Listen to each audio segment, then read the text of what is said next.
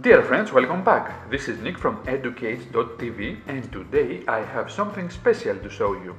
The chip, the $9 computer has arrived and we're going to see how it performs and if it is a good option for our projects. Without any further delay, let's get started. Back in May, I backed a campaign on Kickstarter, a campaign about the first computer that will cost under $10. The campaign raised uh, over $2 million to bring the project in life. Since I was one of the first backers of the project, I received my $9 computer a few days ago, and since then I use it daily to see if it can change the way we make things. The chip is a very small but very powerful board. In order to see how small it is, check this out. It is smaller than the Raspberry Pi A Plus and even smaller than the Arduino Uno.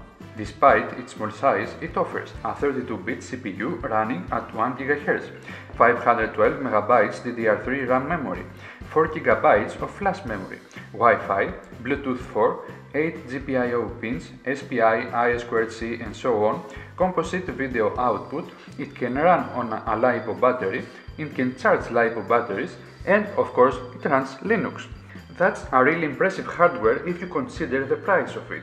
It costs $9, but adding the $20 shipping cost makes it a bit more expensive.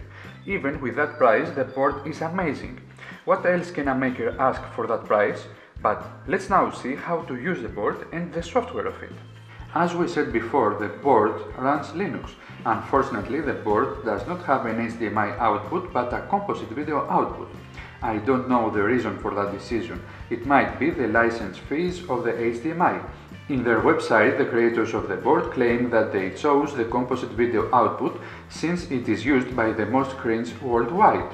Every television has a composite video input, so the chipboard can be used with almost all televisions available today. The makers of the board claim that they will provide an HDMI output capability soon via an add-on board.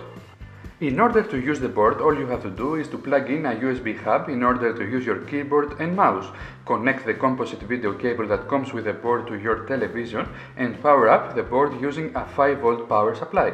There is no need to set up anything at all. The boot up sequence takes about one minute or less and after that you are ready to use the board.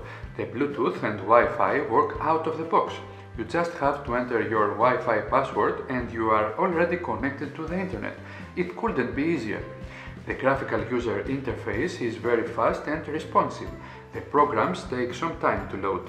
Don't expect the speed of your desktop computer, this board is not intended for desktop work.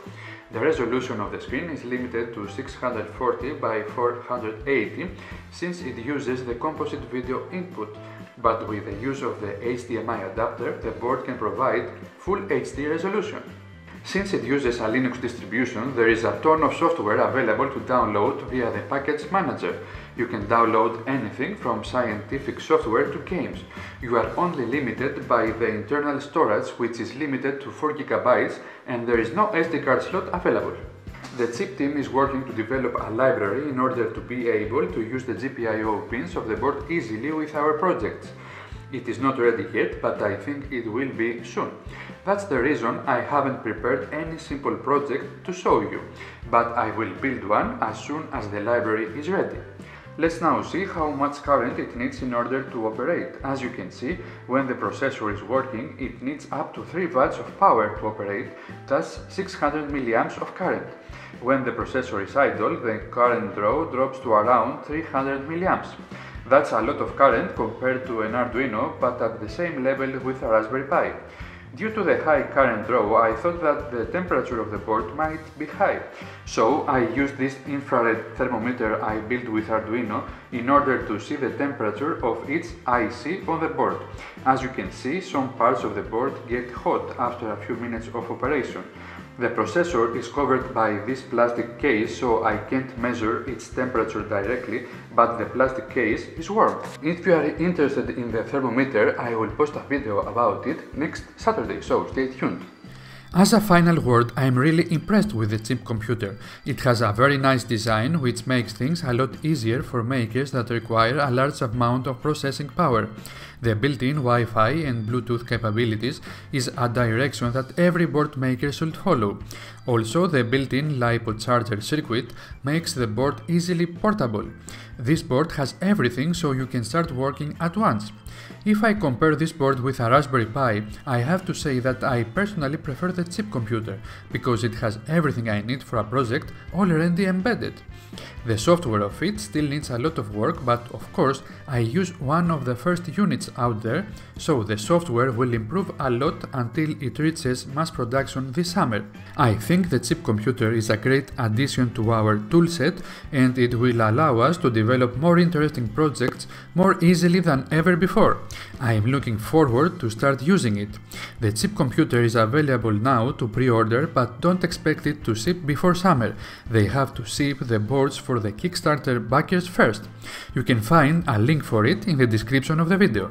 If this is your first time here, I would love to have you subscribed. In this channel, I post videos about do-it-yourself projects every Saturday.